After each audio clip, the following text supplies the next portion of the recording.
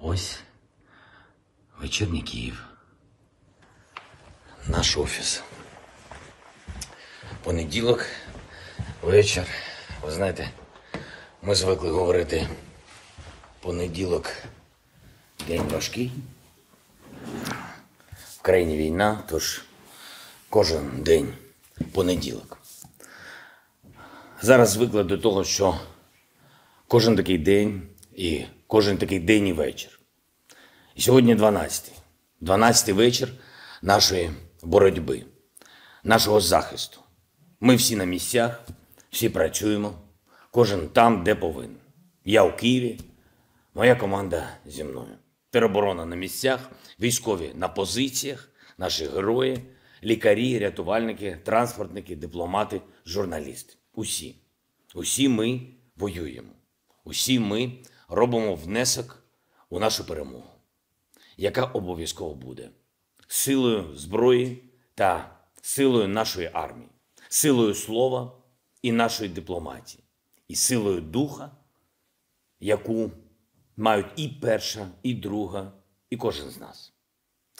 Погляньте сьогодні на нашу країну: Чаплинка, Мелітополь, Токмак, Новотроїцький, Херсон, Старобільськ. Всюди люди захищали себе, хоч у них і немає там зброї. Але це наші люди, і тому зброя у них є. У них є хоробрість, гідність, а отже, і здатність вийти і сказати: Я тут, це моє, і я не віддам це своє місто, свою громаду, свою Україну. Кожен українець, кожна українка, які вчора, сьогодні і завтра протестуватимуть проти окупантів героїв. Ми кричимо на окупантів разом з вами. Ми стоїмо на площах і на вулицях разом з вами. Ми не боїмося разом з вами, коли окупанти відкривають вогонь та намагаються всіх розігнати. Ви не відступаєте. Ми не відступаємо. А той, хто повторював Ми один народ, точно не розраховував на таку потужну реакцію.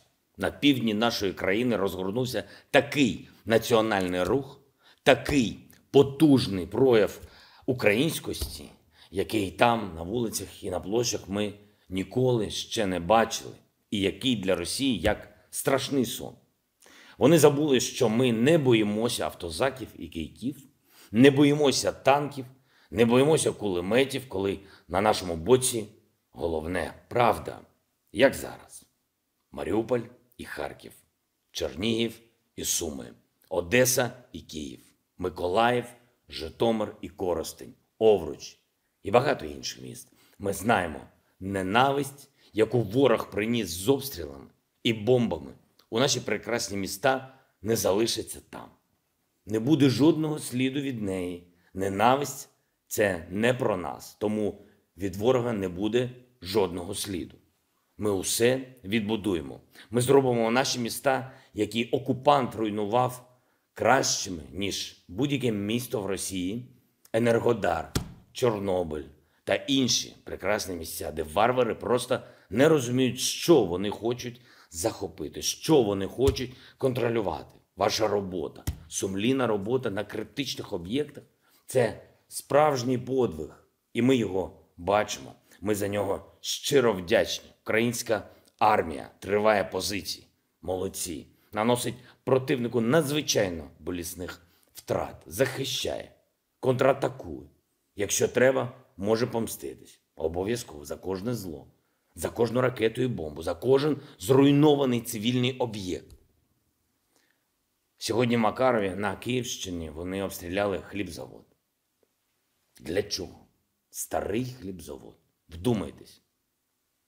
Стріляти в хлібзавод. Ким треба бути, щоб таке робити? А щоб зруйнувати ще одну церкву в Житомирській області. Церкву Різдва Пресвятої Богородиці, побудовану у 1862 році. Це не люди. Була домовленість про гуманітарні коридори. Чи спрацювала вона? Замість неї спрацювали російські танки, російські гради, російські міни. Вони навіть замінували дорогу, яка, яку погоджували для підвезення продуктів і ліків для людей, для дітей у Маріуполь. Вони знищують навіть автобуси, які мають вивозити людей. Але при цьому вони роблять так, щоб відкрився невеличкий коридор на окуповану територію, на кілька десятків людей. Не так у Росію, як до пропагандистів, прямо до них, на телекамери. Мовляв, ось хто рятує, ось вони. Просто цинізм, просто пропаганда, нічого більше. Жодного гуманітарного сенсу. Сьогодні відбувся вже третій раунд переговорів в Білорусі. Хотілося б сказати третій і фінальний, але ми реалісти, тому ми будемо говорити, будемо наполягати на переговорах, поки не знайдемо спосіб сказати нашому народу: ось як ми прийдемо до миру. Саме до миру.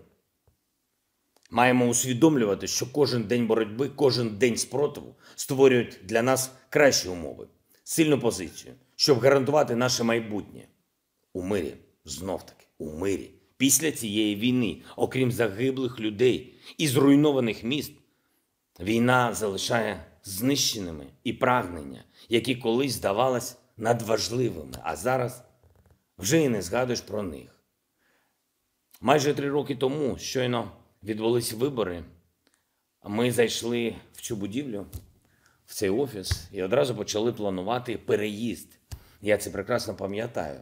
Я мріяв переїхати з банкової разом з урядом і парламентом, щоб розвантажити центр Києва і загалом переїхати у сучасний прозорий офіс, як і належить прогресивній, демократичній європейській країні.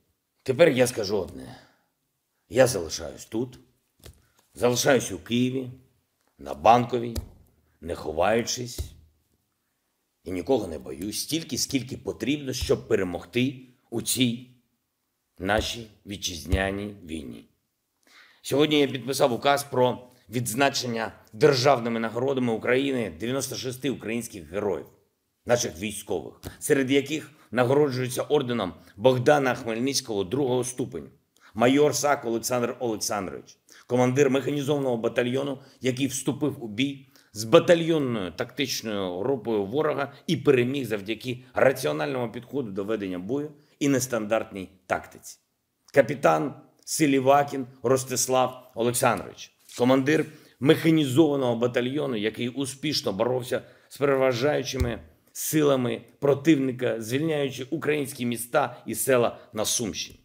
Нагороджується орденом Богдана Хмельницького третього ступеня, лейтенант Лозовий Ігор Сергійович, діючий у складі групи, зупинив колону ворожої техніки у кількості близько 150 одиниць, яка рухалась у напрямку траси Житомир-Київ.